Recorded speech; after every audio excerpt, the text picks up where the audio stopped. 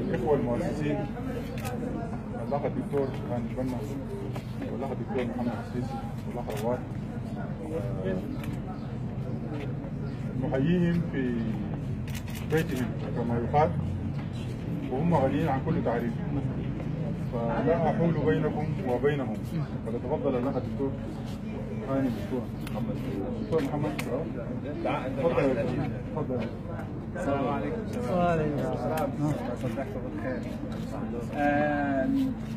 كثير أنا سعيد اليوم موجود معكم آه، طبعا آه، أنا ابن الاغاثه الاسلاميه بعد 11 سنة من العمل مع الاغاثه الاسلاميه أنا فقط منذ شهر ونص انتقلت إلى مؤسسه جديده أكيد سمعتم جميعا. بالخبر المحزن على الأقل لدي يعني رغم إنه أنا انتقلت إلى مؤسسة جديدة. لكن هذه ظروف الحياة وهذه سنة الحياة في أنه الإنسان دائما ينتقل بخبراته من مؤسسة إلى مؤسسة إلى مؤسسة. كما سابقا حصل مع الدكتور هاني أيضا نفسه كان هو مؤسس الإغاثة الإسلامية وبنى الإغاثة الإسلامية ولكنه بعد فترة من الزمن ترك الإغاثة الإسلامية. لكن الإغاثة في قلوبنا نحن أبنائها تعلمنا منها. آه، وهذه رسالتي السريعة لكم إنه إحنا آه، آه، أن تبقى الإغاثة في قلوبكم وترفعوا شأنها أينما حللتم. هنا في اليمن ما شاء الله أنا أمس التقيت لأول مرة مع زملائي الجدد هنا في اليمن في منظمة هيومن ابيد عددهم صغير. لكن كان كل حديثي معهم كيف بنينا الإغاثة الإسلامية في اليمن وما هو يعني كيف وصلت الان الإغاثة الإسلامية اليمن بمكان آه، كبير وبأثر كبير في الميدان ما شاء الله بحجم العمل وبالموظفين وبالموظفات الاخوات و وكم هي اليمن عزيزة علي من خلال زياراتي إلى مكتب اليمن هنا وإلى اليمن سابقا. لكن طبعا آه، ظروف آه، وجودي في أكثر من عمليات طوارئ وعمليات إنسانية كسوريا حالت في السنتين الماضيات إنه يعني دائما أنا أتردد عليكم حتى يعني العمل انتقل من طرفي إلى طرف زميل آخر ومن ثم عادت اليمن. يعني مجرد ما عادت اليمن إلى مسؤوليتي أيضا طلبت تصريح أن أجي إلى اليمن. فالتصريح كان عماله في بالعمل. كنت منتقلا إلى المنظمة الأخرى وهاي وها أنا يعني موجود معكم الحمد لله رب العالمين. أنا سعيد جدا إني رأيتكم وتذكرونا بالخير. إذا قصرنا في أحد ما يعني سامحونا أو إذا أو الحمد وإذا يعني فعلنا خيرا تذكرونا وادعوا لنا بظهر الغيب إن شاء الله. وبارك الله فيكم. شكرا جزيلا. تسلم. السلام عليكم. السلام. عليكم. رواد محمد مهيوب اصلي من اليمن طبعا. رواية الشعر أخي شرار مهيوب شغال معكم في اي دبليو السلام عليكم. وأنا أشتغل مع الدكتور هاني البنا في المنتدى الانساني آه هلال محمد البحري رئيس المنتدى الانساني اليمن. أنا طبعا سعيد جدا آه بزياره مقر الإغاثة. وأيضا أنا ألامس آه أنشطة وفعاليات الإغاثة الإنسانية في اليمن وأصبحت الإغاثة من المنظمات الرائدة في عمل الإنساني والاستجابة الإنسانية خصوصا في خلال الفترة الأخيرة كان لكم تواجد كبير جدا ونحن حقيقه كمنتدى إنساني نعتبر أن الإغاثة نقول رمز للعمل الإنساني داخل اليمن بشكل كبير جدا، أتمنى لكم التوفيق وإن شاء الله بإذن الله يكون معانا إن شاء الله مشاريع قادمة. ولأنه الآن كما تعرفون موضوع الكوليرا وجائحه الكوليرا بشكل كبير جدا وال واليمن ما تعانيه من وضع إنساني سيء، نتمنى أن يكون في تكثيف للجهود والتعاون مع منظمات المجتمع المدني، شكرا لكم.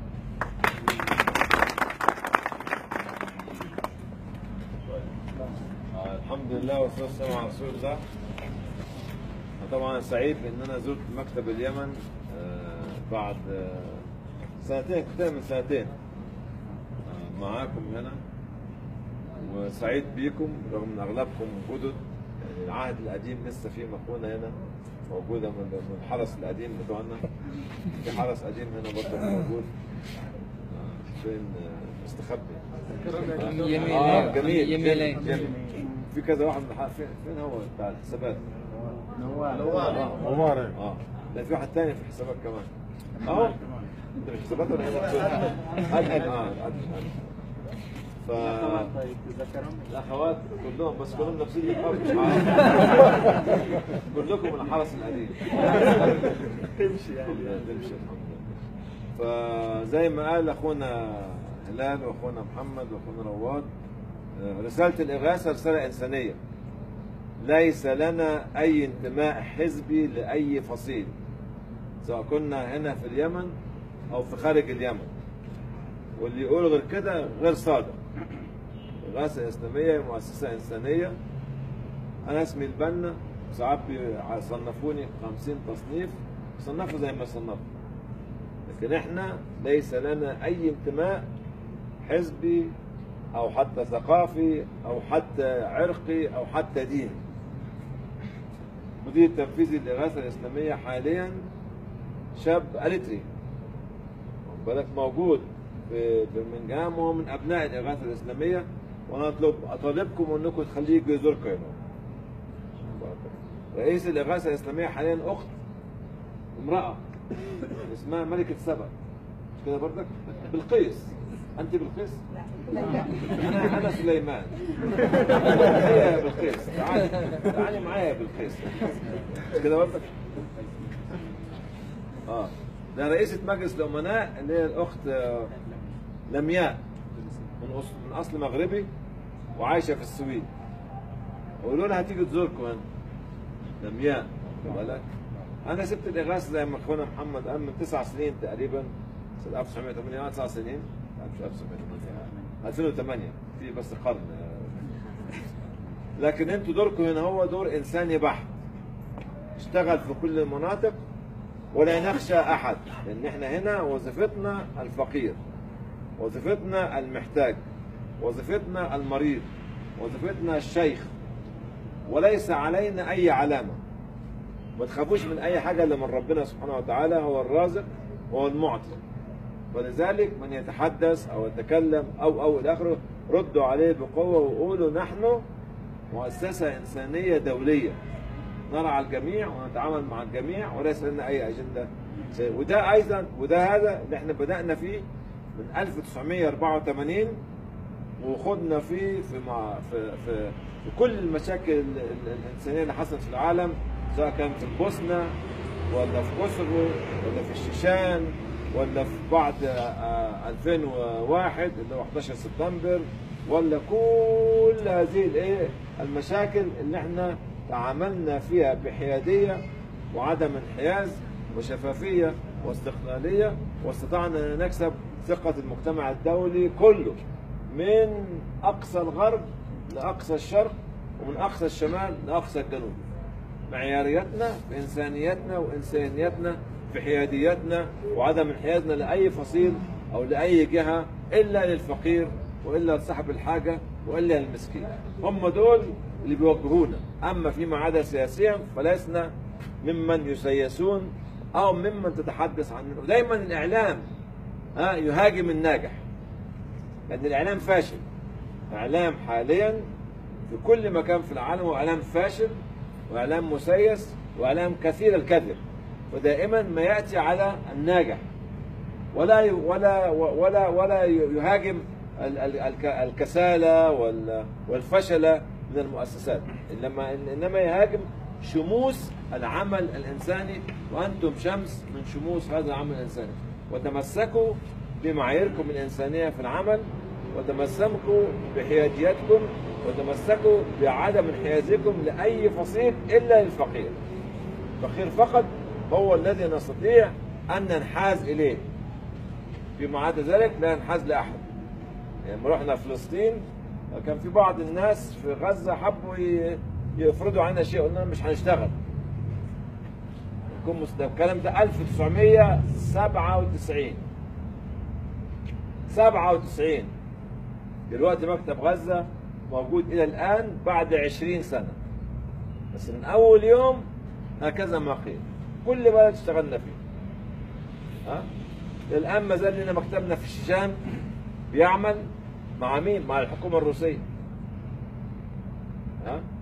لما نتكلم في الصين مكتبنا واخد جوائز دولية في الصين مع حكومة مش مسلمة. كل المكاتب دي كلها سواء في الفلبين ولا في بورما ولا في كذا ولا في كذا ولا في كذا. تعمل بحيادية وفي كينيا موجود. وهكذا. جنوب السودان موجود. بعلاقتنا المتميزة ها مع كل الحكومات اللي جت في جنوب السودان قبل آه، آه، آه، الاستقلال اللي هو ال- انفصال. الانفصال واستقلال الجنوب عن الشمال وبعد اللي هو إيه ما استقلت إلى الآن مكتب موجود وبيعمل بمنتهى القوة. كل مكاتبنا في أوروبا وأمريكا شغالة بمنتهى القوة. من أمريكا لكندا. في آه، رئيس الإغاثة الإسلامية في كندا آه مش أنا يعني آه، مدير تنفيذ الإغاثة الإسلامية في كندا من عندكم بيت الروني زيد الروني وأخوه حسن إلى آخره. موجود في كندا. وكل دول بياخدوا دعم من الحكومات الأوروبية والحكومات الكندية سواء كان من كندا أو بلجيكا أو بريطانيا أو أو إلى آخره. فلذلك نسميه هيد هاي ارفعوا رؤوسكم ولا تخشوا أحد وانحازوا فقط إلى الفقير هنا في اليمن. هذا هو الشيء هذا الشخص الوحيد الذي ننحاز إليه ولا ننحاز لاي أحد آخر. وطبعا عطلتكم على الإفطار. آه، افطارا شهيا وصوما مقبولا. كده بتقيس طب خلينا بتقيس النهارده. طب خلنا إيه يا مهدي مهدي منتظر هنا. يعني مهدي ظهر ومعاه بتقيس يبقى هات سليمان وأنت وأنت الهدوء. وهذا وهذا عفريت من الجن. مين اللي عنده علم من الكتاب بقى؟ ربنا يبارك فيكم إن شاء الله. وادخلوا هجوم على الايه لحظة في ذكرت حاجة شباب. أيوه اتفضل يا سيدي. انت آه، أنت الوجيه أنت. امبارح آه، امبارح أنا كنت في زيارة لمستشفى السبعين ومستشفى الجمهوري طبعا أنا تلفزيون؟ تلفزيون فكنت في زيارة للمستشفى الجمهوري والسبعين. وهذه طبعا أنا كثير جيت زيارات هذه يمكن الزياره رقم خمسة أو ستة على اليمن تقريباً. فاللي شفته امبارح في المستشفى وموضوع الانتشار مرض الكوليرا هذا بيخلي المنظمات الإنسانية إنها توقف أي نشاط عادي ومستمر وت- وتنظر إلى هذه الأزمة اللي هي ممكن تنتشر ويصبح وباء للمجتمع اليمني وفوق الدمار الذي يحصل من بالسياسة. ي- يصير دمار أيضا إنساني على كل المجتمع وعلى العائلات وعليكم وعلى كل فرد يمني موجود. ولذلك أنا بدعو إخواني في الاغاثه الإسلامية على الأقل على المستوى المحلي وأنا إن شاء الله سأتواصل مع الإخوة في ال HQ هنا بعد رجوعي إن شاء الله إنه يجب أن تفعلوا شيئا وبأسرع وقت ممكن لموضوع الكوليرا. الوضع اللي, اللي أنا شفته بعيني أنا قلت لبعض الإخوة وقلت للإخوة في المنتدى الأمر يعني مزري بشكل لا يستوعبه أحد. لو أي واحد منكم ذهب إلى المستشفى ودخل وشاف إنه الناس النساء والأطفال مرأة بأربع أطفالها في الكوريدور في الممر ليس لها سرير والاربعه الأطفال كلهم عندهم محاليل والله لا يبكي دما الأمر يعني يعني جل خطير. ولا يتحمل إنه إحنا نحن الانتظار. يريدون الآن في مستشفى الجمهوري إن أن حيعملوا خيمة فوق السطح. وعشان يستوعبوا عدد ال- ال- الكبير الذي يتناوب على المستشفى يوميا بنقص الكوادر. ورغم هيك سيعملوا آه، خيمة ويحتاجون أسرة. نحن يعني بسرعة لدينا بعض الأموال هنا لبعض المشاريع. أنا أوقفتها. واليوم إن شاء الله سنورد إن شاء الله سنورد 50 سرير مع فرشهم لهذه لهاتين المستشفيتين 25 هنا و25 فأنا أنتم أنتم الكبار هنا الاغاثه الاسلاميه فيجب أن يكون لكم السبق في العمل مع هذه المستشفيات والوضع الصحي ومرض الكلى. للعلم الدكتور هلال هو رئيس المنتدى صحيح لكن هو نائب مدير مستشفى السبعين. فيستطيع أن يعطيكم كل التفاصيل وتتواصلوا معه بهذا الأمر حتى على مستوى المستشفى الجمهوري أو مستشفيات أخرى. بارك الله فيك. السلام عليكم. معي.